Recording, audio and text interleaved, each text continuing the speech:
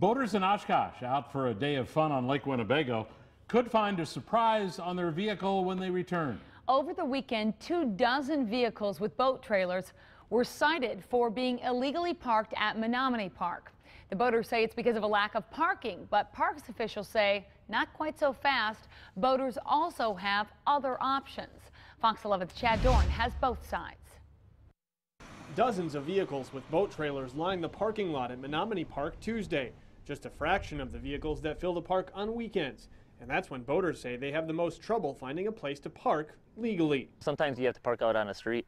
It's a concern Steve Mortensen says some boaters are bringing to the city's attention after the weekend citations. I would love to see if they, if maybe even during a certain time frame during the day when there's no baseball, have it sold the whole road down so you got, you know, 75 stalls, designated just for the boaters only. Oshkosh Parks Director Ray Maurer says there are already more spots for boaters. Last year we extended that the boat trailers can actually park in the single stalls, what we call them here, mm -hmm. um, up until 6 p.m. Maurer says the city converted 25 additional single car stalls to double stalls for boat trailers at the park this year. What I'd like the, the boaters to know is um, we're doing what we can to expand the number of parking spots down here, but there are other, there's five other boat launch facilities in the city that if they find this one is full, that they should check out the other boat launches as well. Maurer says softball games at the three diamonds at the park can use up to 200 stalls, sometimes six days a week.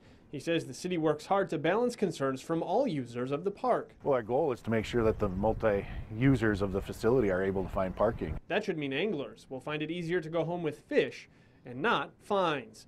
In Oshkosh, Chad Doran, Fox 11 News.